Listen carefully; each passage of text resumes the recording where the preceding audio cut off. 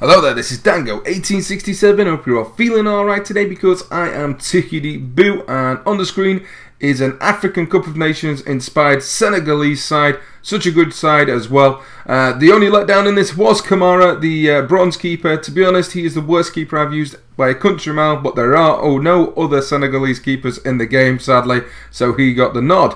Sissoko at the right back position is really actually quite good. Good pace, and he's a good physical, gets up and down really well. Uh, I did enjoy using him. And on to uh, the Inform Djilobodji. Uh, so solid. One of the best centre halves I've used on that, especially from uh, the French league. Uh, if you can use him, use him. He's so good in the air and he's got bags of pace as well. Uh, go check him out.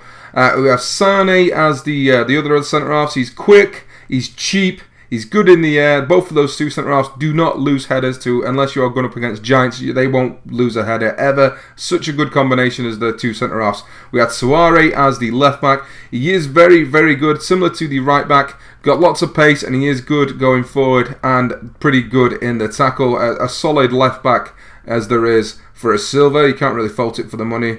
Uh, we had Sougou as the right midfielder. He's dirt cheap and he has absolutely bags of pace. I did enjoy using him. Got me free assists as well. Uh, he was really good going forward. Uh, great dribbling as well, despite his uh, only three star skills. Uh, I did enjoy using him quite a lot. We have got the in form, we have got Gueye. Uh, he's uh, in the midfield, central midfield position. He's a much better, in my opinion, probably as a cam. His shooting is well underrated at 50 yard.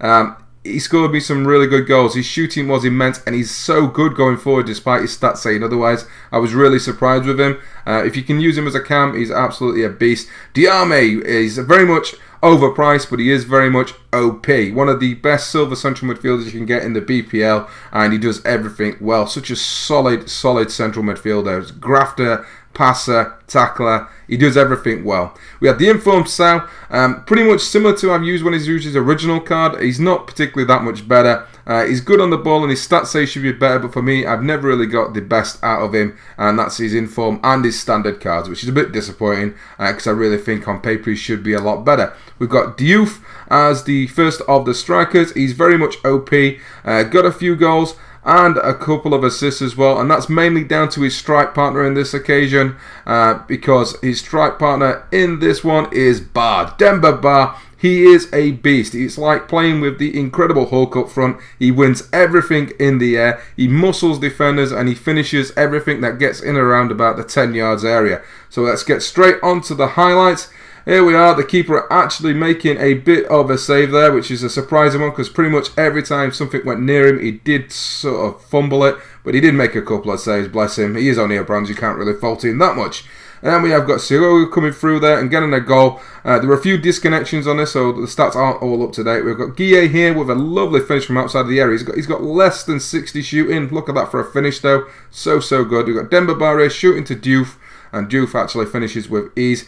He's very much OP. There's a lot of really cheap OP BPL players this year, and he is definitely up there with the best of them. He got Diouf again, cutting inside and finishing. They did work really well, like I said. And Demba Ba, look at that for a finish. Absolutely first time volley.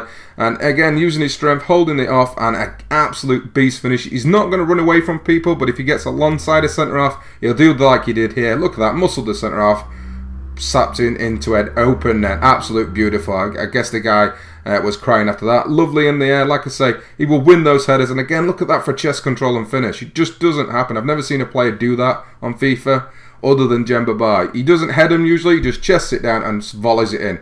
I've been Dango. I hope you've enjoyed the squad builder. Catch you all later.